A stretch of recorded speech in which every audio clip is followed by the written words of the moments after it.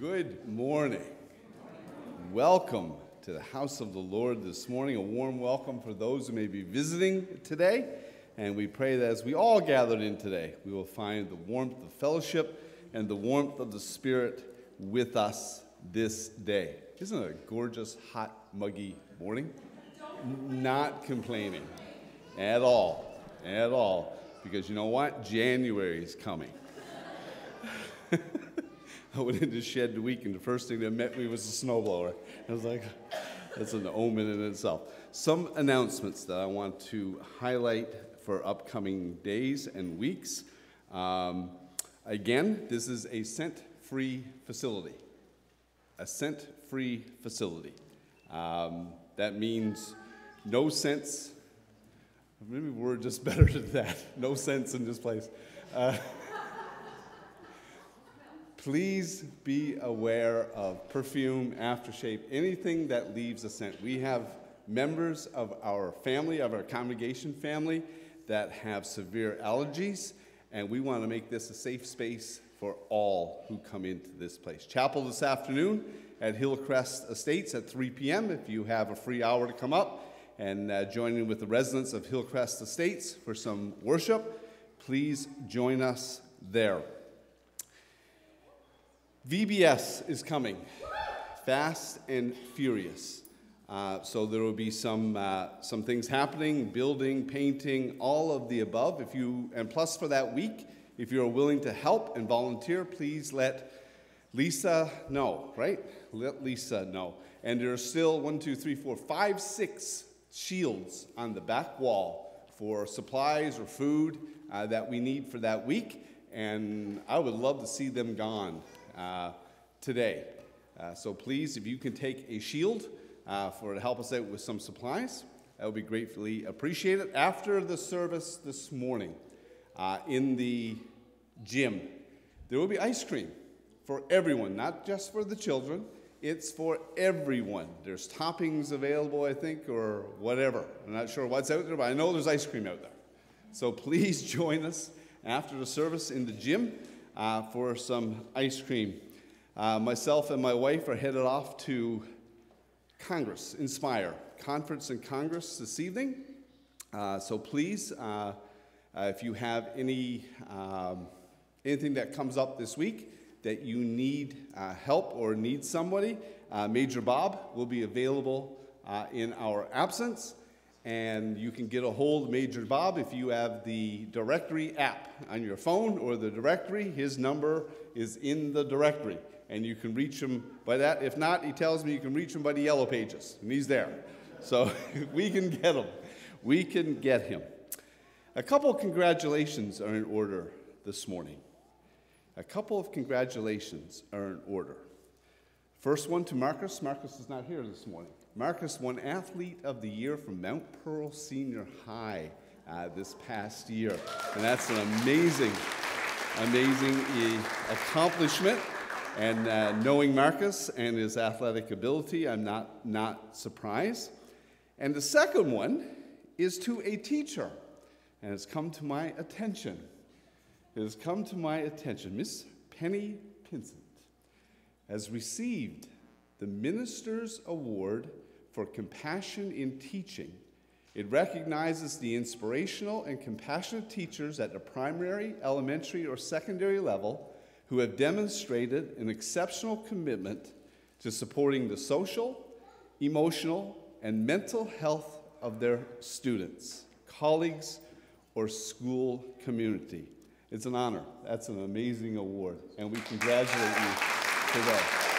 Uh, it's no surprise that you received this award knowing you and knowing you for years, uh, it's no surprise that you've uh, received this award. And uh, huge congratulations uh, for that award. For that award. And that's enough from me this morning. And now the worship team will lead us in worship today.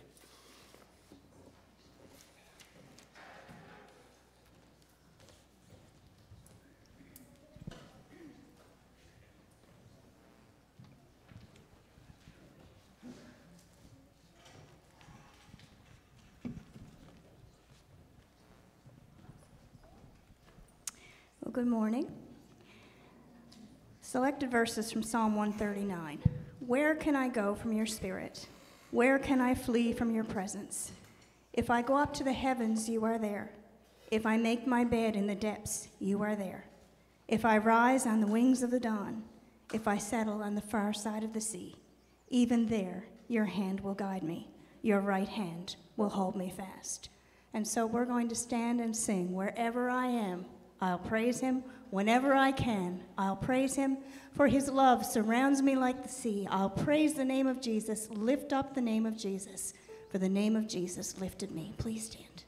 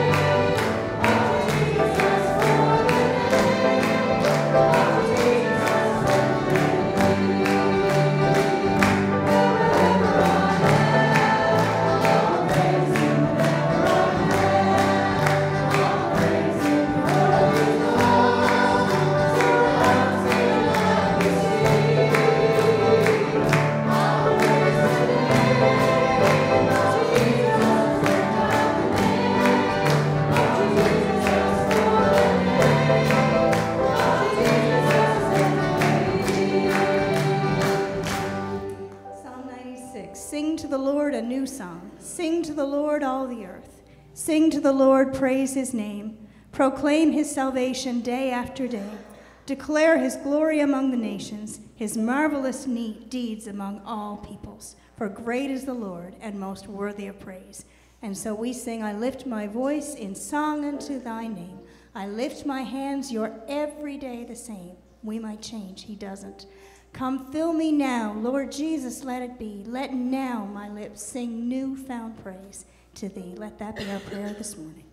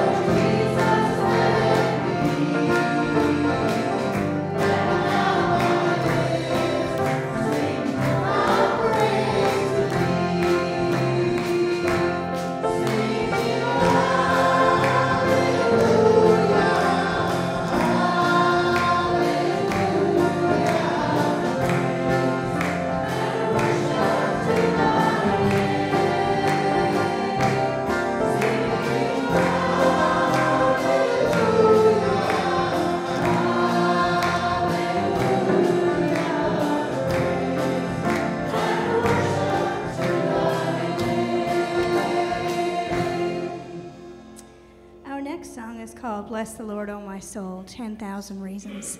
And Aubrey, I'm wondering if we could go to the second verse.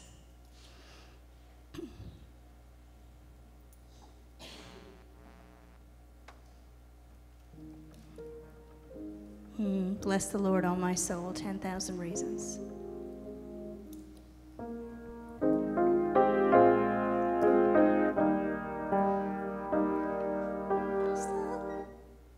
The Lord, O my soul. Yeah, that's a different one. That's okay, though. We're doing 10,000 reasons? Yes, we are.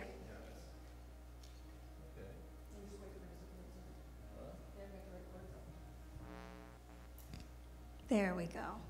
No, not that one either.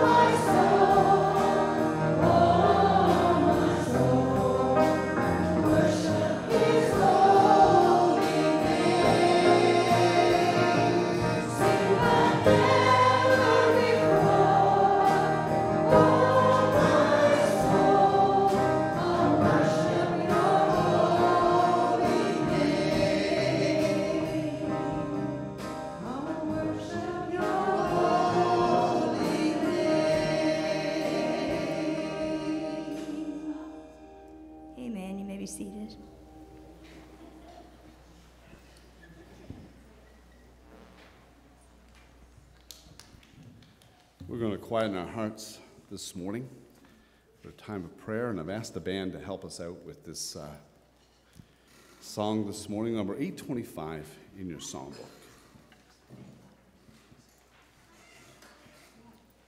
It says, A wonderful Savior is Jesus my Lord.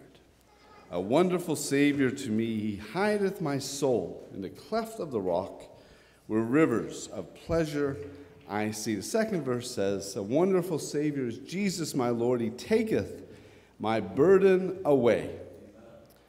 He holdeth me up, and I shall not be moved, and he giveth me strength as my day. And there's many individuals today, many people today in need of that touch, in need of that strength, who needs to be held up. Remember Colonel Doug in these days on his own health journey, but also Colonel Doug and the Efford family, the passing of Colonel Doug's mom this past week as well. Um, the service will be 2:30 this afternoon from Trinity Bay South Corps. Remember Kathy and the Frost family as well this week, as Major Frost um, was promoted to glory as well a couple of nights ago. Remember that family today. We remember Commissioner Tidd uh, as well. Many of you may know that Commissioner Tidd uh, is on his own journey uh, with cancer, and as of September 1st, will be stepping away uh, for a short period of time of leadership of the territory um, to deal with some, uh, some health concerns. So we pray for him and Tracey and the family, and we also pray for our new commissioners who will be taking up leadership in September, uh, September 1st, and that would be Commissioner Lee and Debbie Graves, who are coming back uh, to the territory as well. And we also remember Sherry Barnable, that's Ethel and Enos's daughter, uh, who's having some health concerns, and there are many today. Many others today who are battling today. Remember our service next Sunday in our absence. Nadine will be leading on our service next Sunday in our absence, and we pray for her as she, uh, guided by the Holy Spirit, for next Sunday morning. So please come out and support her as she leads on next Sunday morning. He holdeth me up. And I pray today that will be our prayer. We're going to sing the three verses straight through with the help of the band, please, this morning. 음.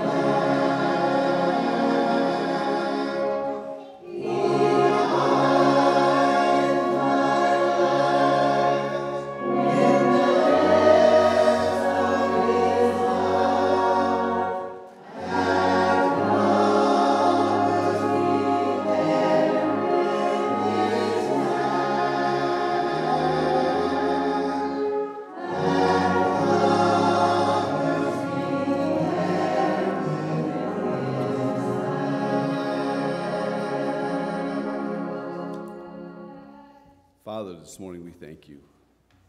We thank you for your love. We thank you for your care and your compassion.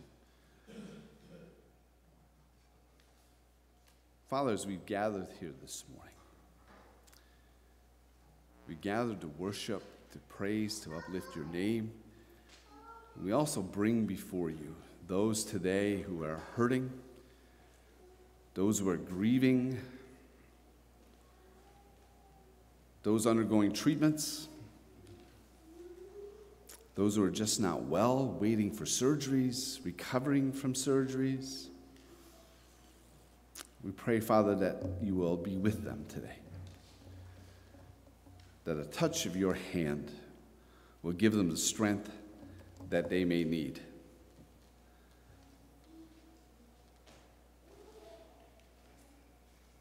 That they will feel and sense your presence in a real way today, wherever they may be. We pray for our students today, Father, as well, as they head out for the summer as school has ended for another year. Our students and our teachers, as they brace themselves for the summer months, that you will protect them this summer. That you would guide them, whether that's just taking a break and enjoying the summer or working this summer, that you will bless them as well. We pray for our conference coming up in Toronto this week. Father, we pray that your Holy Spirit will indeed move amongst all those delegates that will be there, those who are in person, those who may be watching via live stream as well this past week. We pray, Father, that we will be renewed, inspired, that your Spirit will indeed convict us of who we are individually and as a Salvation Army, that you will bless those gatherings. Pray for our service next Sunday, for Nadine, as she takes leadership next Sunday. And as she prepares her heart, that you will guide and direct her thoughts, her words, that you will bless her indeed. We thank you, Father, for these opportunities, these opportunities to uplift your name, these opportunities to pray for each other, to share each other's burdens, to share each other's grief and sorrows, to encourage one another. We pray for the remainder of our service this morning, and that your Spirit will indeed move amongst us this day. We ask all these things in and through your holy name the name of Jesus. Amen and amen. My wife is going to come with scripture reading this morning, but before she do, I want to make mention, acknowledge another donation that came in as a donation toward our live stream uh, and our PowerPoint equipment, and that's from Tina and Sean Stringer. We thank you so much for that gift uh, for to help us out in ministry and so that the gospel can be shared. Thank you so much.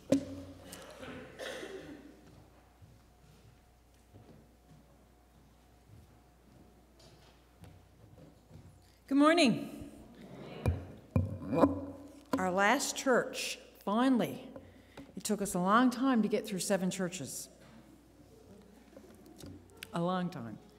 Revelation chapter 4, verses 14 to 22.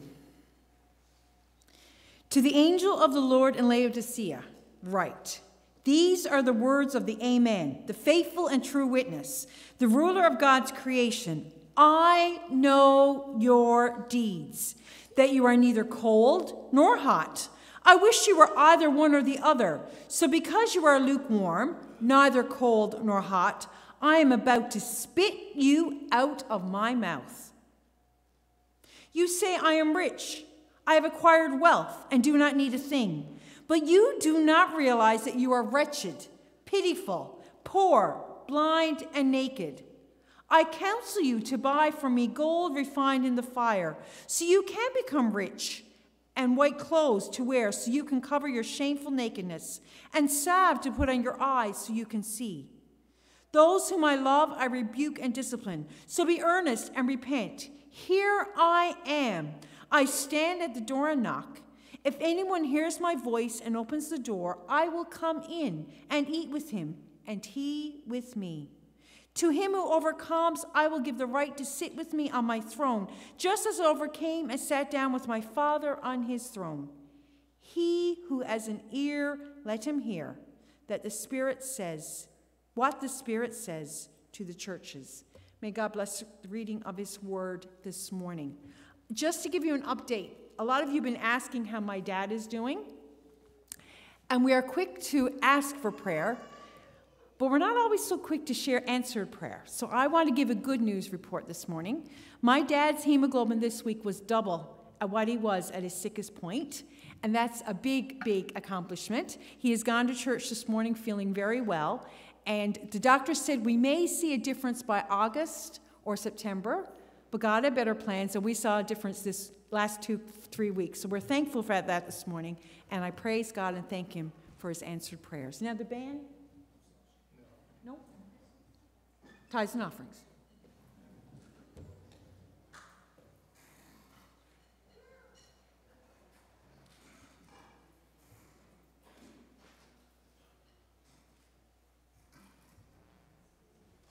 I didn't come up early this morning, Glenn. I think I'm in the right spot at the right time this morning. For those of you who were, who were here when I did this before, I came up and I was going to try to lead the band, but Glenn wouldn't let me. but anyway, uh, so nice to see you all, and I'm so glad to be in this church this morning, and I hope and pray that all of you are too. Uh, Hebrews, Hebrews 13 and 16 says, And do not forget to do good and to share with others, for with such sacrifices God is pleased. Would the ushers please stand for prayer? And I'll have a short prayer. Gracious and loving Father, we approach your throne with humble and sincere hearts as we thank you for all your abundant blessings to us every day. May we not withhold from you what we have decided in our hearts that belong to you. May you be honored with these offerings we present this day. Amen.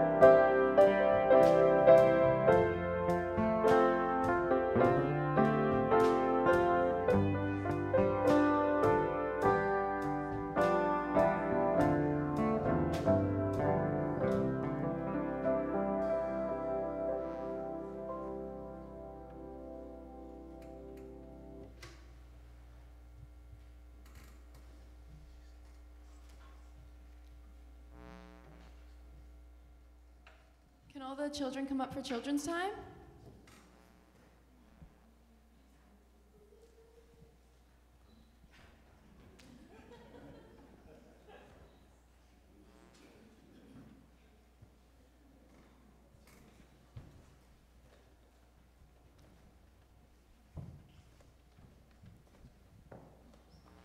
All right, before I start, I gotta drink some water because I'm really thirsty.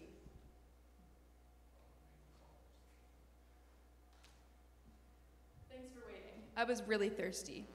Raise your hand if you've ever been thirsty. You've never been thirsty, Samantha? never?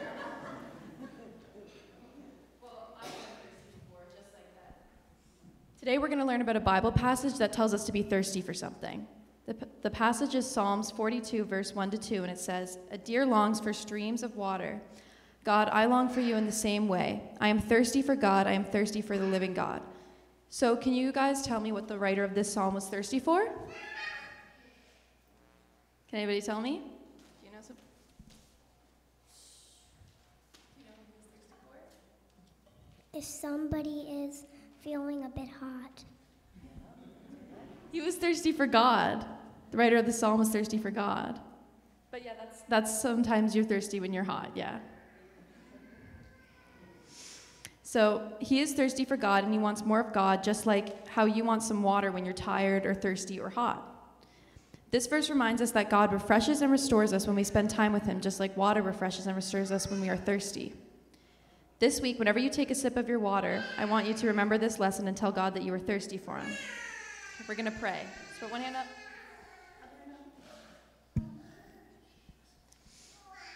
Lord, we thank you that you are refreshing like a cold drink of water. Help us to drink up your word. In Jesus' name, amen. There's no Sunday school today, so you guys can go back to your seats.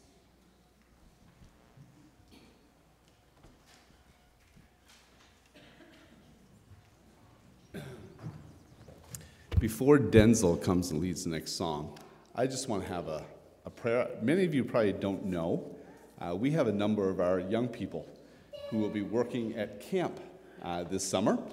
Uh, we have Jordan, we'll be working at camp. We have Jared, we'll be working at camp. Georgia, who's in hotter weather than what we are right now, but she's also working at camp uh, this summer. Eva, our student uh, from Gander, is also working at camp this summer. And we also have Timothy's. Uh, Timothy is a discipleship program uh, for this summer. I think it's three weeks. Am I correct? Or two weeks? Two? Four weeks. It's four weeks at camp. And uh, Carly uh, will be going off to the Timothy program uh, this summer. Do I have them all? I think that's all of you. Yes. I'm going to ask you to stand, all of you. I'm sorry to put you on the spot this morning. Yes, Jordan, you have the stand. I'm in trouble. No, just the, just the camp staff. I'm sorry. Just the camp staff. And uh, we're, we're going to have a prayer. Now, they're looking for camp staff if you want to get on camp staff, uh, Linda and Maureen. Let's have a prayer. Father, we thank you today for our youth. We thank you for their passion. We thank you for their lives, their commitment to you. And Father, as they head out this summer uh, to work at camp, to be discipled at camp, but most of all, to have an impact on those kids who will be arriving at camp this summer. Father, we pray that you'll just bless them, that you would empower them, that the love of Jesus will be shown in and through them this summer, so that those children who are coming from all walks of life will know that you love them and love them unconditionally. Again, Father, we pray you just bless our young people as they take leadership this summer. We ask in Jesus' name, giving thanks. Amen and amen.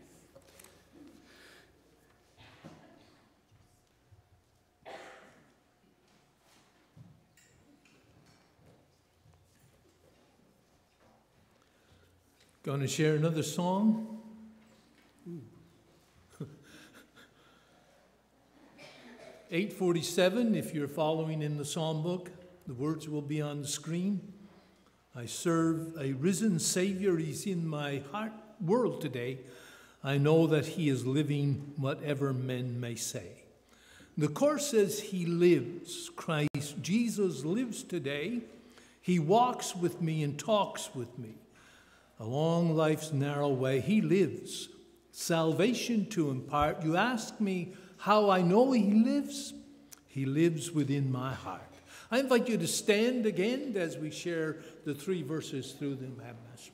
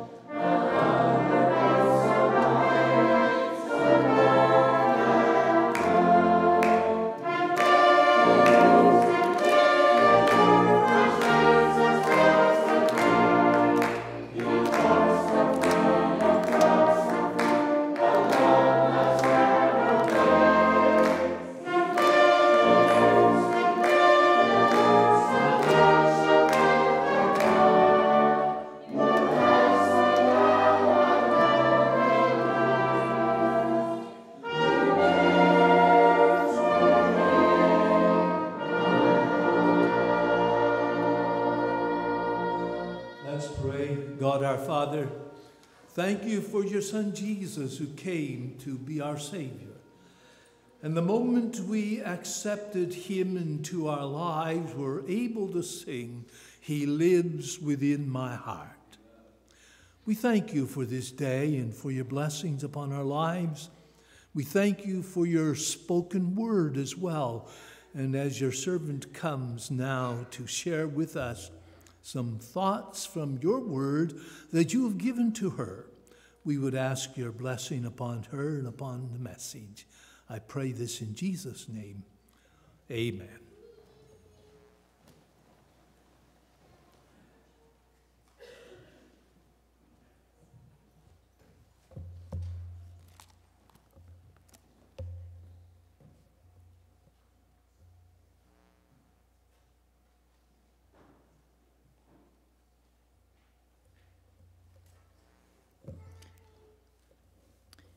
Gerry Spence is a famous trial lawyer, the author of many books, including the book Win Your Case. Part of Gerry's fame is attributed to his famous final plea in just about every closing argument. In his book, he speaks to the jury on behalf of little Polly. Spence says, Before I leave you, I want to share you with a story I tell in nearly every case. It's about transferring the responsibility of the case from us, on behalf of little Polly and her parents, to you, the jury. It's a story of a wise old man and a smart aleck boy who wanted to show up the wise old man as a fool. One day, the boy caught a little bird in the forest. The boy had a plan. He brought the bird cupped between his hands to the old man. His plan was to say, Old man, what do I have in my hands? To which the old man would answer, You have a bird, my son. Then the boy would say, Old man, is the bird alive or is it dead? If the old man said the bird was dead, the boy would open his hands and the bird would fly freely back to the forest. But if the old man said the bird was alive, then the plan of the boy was to crush the little bird and crush it until it was dead. So the smart aleck boy sauntered up to the old man and said, Old man, what do I have in my hands? And the old man said, You have a bird, my son. Then the boy said with his malevolent grin, Old man, is the bird alive or is it dead? And the old man with sad eyes said, The bird is in your hands, my son. And so, ladies and gentlemen of the jury, Spence would say, the case of little Polly is in your hands. In Revelation 3 14 to 22, this final letters to the churches, there is also a plea, a final plea. Seven letters have been written from Ephesus to Laodicea. Although the churches were specific, although the letters were specific to each church, they would have been read by all the churches, addressing issues confronting the Christian congregations. This is Jesus' final plea, his last words to the church as a whole. And in verse 22, he says, He who has an ear, let him hear what the Spirit says to the churches. Jesus' final plea to the churches is repent, change your ways, be ready for my return. For his final recorded words in Revelation 22 reflect on his return. This final letter is addressed to the church in Laodicea the city of Laodicea was located southwest of Philadelphia, due east of Ephesus. It was the wealthiest of the seven cities, being a banking center and a textile town, famous for the manufacturing of a rare, glossy black wool cloth. It also was the home of a medical school that produced a certain kind of eye ointment. Although the city was wealthy, it had a poor water supply. Its supply came from a six mile aqueduct, bringing water from the south, from the hot mineral springs of Hierapolis. By the time the water reached the city, it was tepid, lukewarm, mineral laden, and just intolerable to taste. To this church, Jesus addresses himself as the ruler of creation, the Amen, the faithful and true witness. The Amen signals an acknowledgement of something true and binding. He is the truth and speaks the truth. Jesus is true and faithful. After Jesus addresses the crowd and introduces himself, he proceeds to speak to the church directly. This has been his format for all seven letters. His words are familiar I know your deeds. These words have been used in five of the seven letters. To the churches at Ephesus, Thyatira, and Philadelphia, it has been followed by commendation. They have been praised for what they are doing right. However, for Laodicea, it is as it was with Sardis. This is a negative statement. Jesus is not pleased. Why? Because this church is lukewarm in their relationship with Him. In verses 15 and 16, Jesus says to them, I know you inside and out and I find little to my liking. You're not cold, you're not hot. Far better to be either cold or hot. Instead, you are lukewarm, tepid, you're stale, you're stagnant. Therefore, I want to spit you out of my mouth. Strong words, but they are appropriate for the culture and situation. Everyone understands how nasty and terrible lukewarm water tastes. Agree? Now, God is using this as a comparison for their spiritual condition. And even without the background, the judgment is clear. God is very displeased with this church. So disappointed, he wants to spit them out. Spit them out. That brings many images to mind, doesn't it? Being sick and throwing up, you got no choice. Got to spit it out. A child tasting something that they don't agree with it. They find it yucky. What do they do? They spit it out. How nasty the church must have tasted in the mouth of God that he would want to spit them out, that he wanted them out of his mouth. One side note that I found while I was researching for this sermon stated that many would take the word cold to be negative hot, positive, cold, negative, with lukewarm being in between. But one Bible commentary believes that both hot and cold could be looked upon as positive. Jesus wishes that the church had a cold, refreshing purity or a hot, therapeutic value, but as neither. The church at Laodicea is just lukewarm. Yet, what was it doing that made its behavior so repulsive and nauseating to Jesus? Jesus goes on to condemn its behavior in verse 17, and he says, You brag.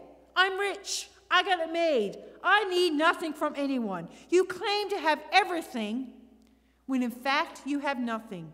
You are oblivious to the fact that in truth you are a pitiful blind beggar wearing threadbare clothes and homeless. As a church, Laodicea is wealthy and luxurious. It is rich with all the material goods it would want. By today's standards, it has the great cathedral with the lavish meeting rooms, plush pews and carpet, and state of the art technology. Jesus looks down and sees the highly trained preacher. He hears the fancy choir. He smells the soup in the kitchen. But it is of no value to him because they're all lukewarm in their relationship with him. The church has an attitude of self sufficiency. They don't need anything. They're materially secure and they feel spiritually safe, totally unaware of their need. They're proud of themselves, their beautiful building, their rich treasury, and all that they have accomplished. They can see what they have, but they fail to see what they are lacking. There is no zeal, there is no warmth, there is no enthusiasm. They become indifferent to the great doctrinal truths of Scripture. They have lots of activity, plenty of form, but they have little godliness. The only good thing they have is their opinion of themselves, and that's not true. The church at Laodicea is measuring its value by human standards, not spiritual ones. Wealth has deceived them. They do not have what they think they have. For the true source of wealth is God alone, and at the moment, He is not the focus of their congregation. In fact, He is outside looking in. They have become blinded to their needs and unwilling to face the truth. They are so proud of their status, but they're complacent in their spirituality, becoming indifferent to spiritual matters. And they just don't care. Michael Wilcock says the worst condition to which a church can sink is lukewarmness. Jesus has chosen his words of rebuke carefully. In a city known for its bankers, doctors, and fashion industry, he describes the church as being poor, blind, and naked. Could he have rebuked them in a more negative way? Like the church at Laodicea, does the church today need a new measuring tape? At times, does the church measure its value by human standards rather than spiritual ones? Many churches today have beautiful buildings, elaborate organizations, and top notch technology, and there's nothing wrong with that. But it's not enough. Without sounding, sounding judgmental, is there a tendency to meet, to go through the motions, and go home and still feel spiritually empty? Do we go home with the same empty souls with which we came to the service? Is there enthusiasm? Is there zeal? Is there fire? Many Christians may think they are just fine the way they are, yet they're indifferent to the fact that we can all be better. They are blinded to their spiritual condition. There is no one more difficult to reach than a person who is self satisfied, complacent, and blind to his own conditions. So I'll ask again Does the church today need a new measuring tape for its values? Hallelujah this morning. God has a plan. The great Creator has a measuring tape to replace the old one, one that values our spiritual nature. In verse 19, Jesus explains to them what they can do. There is a plan. God is eager to work in their lives. Here's what I want you to do buy your gold from me, gold that has been put through the refiner's fire. Then you will be rich, rich by my standards. Buy your clothes from me, clothes designed in heaven. You've gone around half naked long enough. And buy your medicine for your eyes from me, so you can see, really see. Christ is the source of all true wealth, splendor, and vision, and Jesus wants them to be fully aware of this. Why does he offer them a plan? Why does he care? Why not leave them where they are? Why bother? Verse 19 answers that question. The people I love, the people I call to account, I rebuke, I discipline, I prod, I correct, I guide. Why? So that you will live your best life. You will be sincere. You will be honest. You will be earnest. You will repent and change your ways. Jesus is standing before the church. In verse 19, he says, Look at me. I stand at the door and knock. But he knocks at a door with no outside doorknob. And you must open that door. If you hear me call and open the door, I'll come right in and sit down to supper with you. Conquerors will sit alongside me at the head table, just as I, having conquered, took the place of honor at the side of my Father. That's my gift to the conquerors. The only cure for lukewarmness is the readmission of the excluded Jesus. He wants to be on the inside. Jesus does not despair over the church at Laodicea. All is not lost. This is one of the most tender messages found in any of his letters. Jesus alone can provide the riches, the robes, and the ointments. And he is eager to walk in the life of the church. His tender voice invites Laodicea to accept his offer. He comes, he stands, he knocks, he calls. The question is will she let him in? Jesus may be shut out, the church may be devoid of spiritual life, but yet he still appeals to the church. If anyone hears, if any man or woman, he appeals to individuals. If the whole church does not heed his warning, if one heart is open to receive him, Jesus will enter and stay in blessed fellowship. To those who repent, there will be a seat.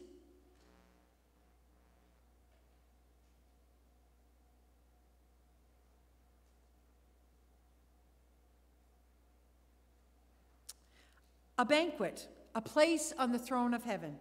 The question is will anyone come? This morning, this message is for all churches. Messages from Jesus belong to us today as well as the church of the first century. Churches are people, and human nature has not changed. Warren Wiersbe challenges the reader of this letter not to look at the passage as ancient relic, but as a mirror in which we see ourselves. What is the mirror reflecting to us today? When we examine our hearts, do we see hearts with burning zeal? Do we seek first the kingdom of God and his righteousness? Or do we see hearts that are lukewarm, lacking zeal, warmth, and enthusiasm? Do we see hearts filled and controlled by the Holy Spirit? Or do we see hearts that are self satisfied? The pleasures of this world, money, security, and material possessions can be dangerous because their temporary satisfaction makes us indifferent to God's offering of lasting satisfaction. The pleasures of this world, money, security, and material possessions, can be dangerous because their temporary satisfaction can make us indifferent to God's offer of lasting satisfaction. When we look in the mirror this morning, what do we see? Do we see someone in need of a new measuring tape? Are our values measured by human standards or spiritual ones? Individually this morning, be honest with ourselves. Are we hot or are we lukewarm in our Christian experience? Or are we cold with purity? God knows this morning. I don't need to know, but God knows.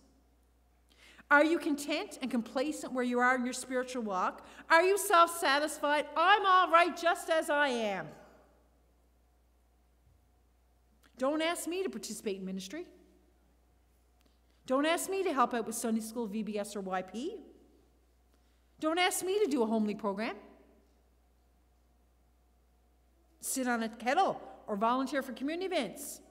Not likely. I often hear people saying, in many corps, not just this one, I'm too old. I've had my day. Let someone else do it. It's their turn. And in many ways, that may be true. But don't think you can't do anything. I was at a conference one and I heard the speaker say, if you're not dead, you're not done. There's always something to be done. As long as God keeps us on this earth, He has a purpose for our life. And when He's finished with us, then He calls us home. Jesus is telling us this morning if we're not filled with zeal and enthusiasm for God, if we're not seeking out what God wants to do through us, then we're lukewarm. And we know what He does with those who are lukewarm. But praise God, He's not content to leave us there. He loves us too much to leave us lukewarm. He's knocking at our hearts this morning. He is eager to work in our lives, to enter and to fill us with His Spirit. He is knocking. Will you let Him in? He is eager, but He is also a patient God. He knocks, He waits. But it's up to us to let Him in for salvation. To let Him in, to allow the Holy Spirit to do work in our lives, to fill us, to lead us, to guide us.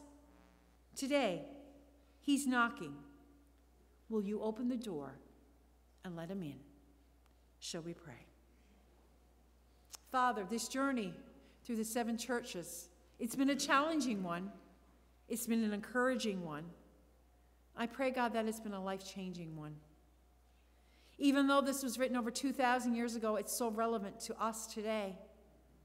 And I, God, I pray for the hearts that are in your presence right now in this building and online. I just pray, God, that they've been challenged by your word. And Holy Spirit, I just pray that you will speak. It is too easy to become complacent in our seats. It is too easy to come to church and say, I'm okay. I'm good as I am. I'm good where I am. But, Holy Spirit, if you've got more for us to do, challenge us this morning, God. May we be filled with love, zeal, compassionate, your grace to share with others, to make a difference in this world. We are your hands and feet. May we be willing to use them for you. Move among us in these next few moments, we pray. In thy name, amen. Move, Holy Spirit. Move in my life. Move, Holy Spirit. Make me like Christ. Move. Don't leave me where I am. Move me. Move my heart. Move my willingness. Move me out of my complacency. Move, Holy Spirit. Move in my life.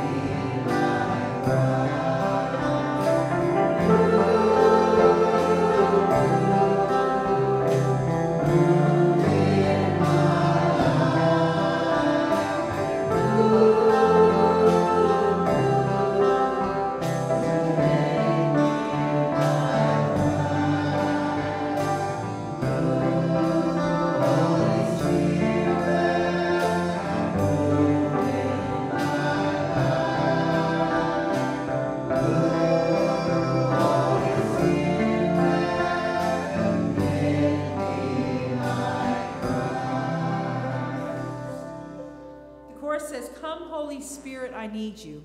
Come, sweet Spirit, I pray. Come in thy strength and thy power. Come in thine own special way. It was just a few weeks ago. We were discussing the Holy Spirit coming at Pentecost and, and at the Ascension and what that meant for the church and how excited they were because God had called them to do amazing things. And we read that, it just seems so happening. But yet, that same power and that same strength is available to us today. What happened 2,000 years ago is still available and still able to work today. God just wants us to be willing. He wants us to be earnest. He wants us to be enthusiastic for Him. What do you need from the Holy Spirit today? What can He do in your life today? Come, Holy Spirit, I need you.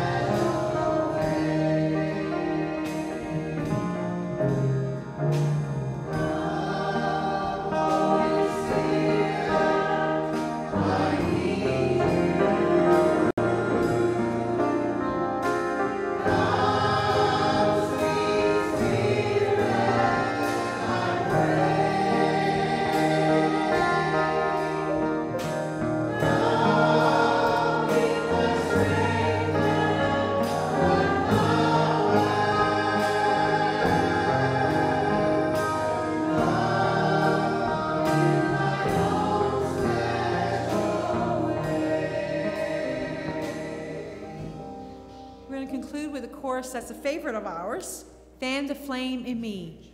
Could I have the words there, Aubrey, please? Lord, renew in me the fire of your spirit till I begin to see the power of your love. Make my life to be blazing, blazing with your holiness. Consider that for a moment. Would you consider your life to be blazing with God's holiness?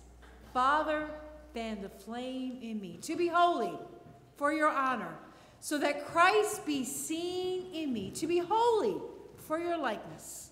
Father, fan the flame in me. Let's stand together this morning as we sing this song. I pray as a song of commitment, a song of willingness.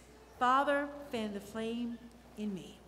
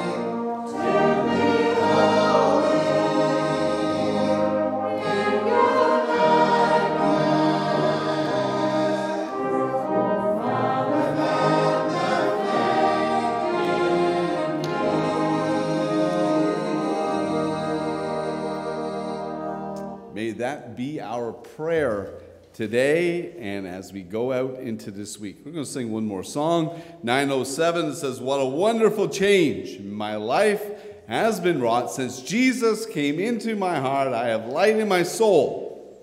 Amen. For which long I have sought since Jesus came into my heart. I have ceased from my wandering and going astray, and my sins, which were many, are all washed away. Why? Since Jesus came into my heart. Four verses straight through. Band, please.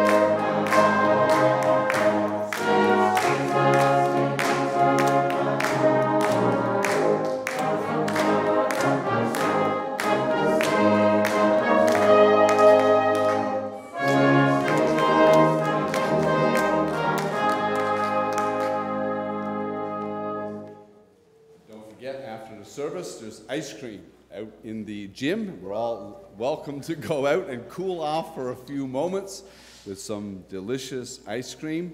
Um, next Sunday, myself and Lisa will be away, so please keep Nadine in prayer as she prepares uh, to lead us on next Sunday. We will be praying uh, for sure as well. Our benediction this morning is this this is the God we adore, our faithful, unchangeable friend whose love is as great as is power. Father, this morning we thank you. We thank you for the blessings. We thank you for your love and for your grace. And as we leave here this morning, Father, we pray you will go with us, guide us, and protect us. May we be a light shining brightly for you in our lives. We ask in Jesus' name. Amen and amen.